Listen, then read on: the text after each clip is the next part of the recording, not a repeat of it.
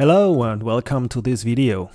This is about the Kurzweil PC4, but most likely you can use it also for the new K27. Today I want to show you an electric piano that I have resampled from a well-known stage piano.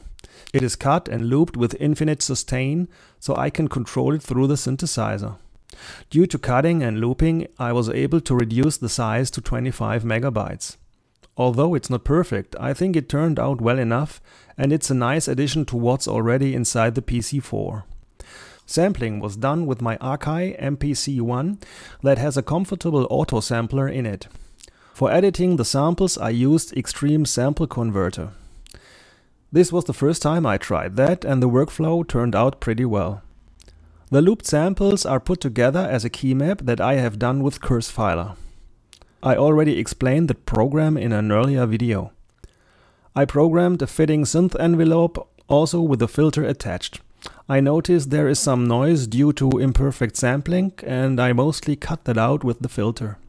You will notice that only when you dial up the EQ in high values.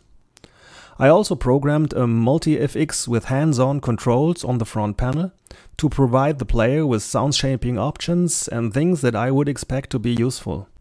You can download this sound at the Mastering Vast forum.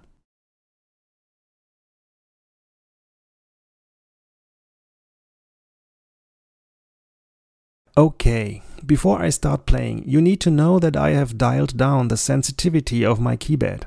Flat is the default, but I think this way the keyboard plays way too hot and you play sounds, also all the internal ones, onto a too high level.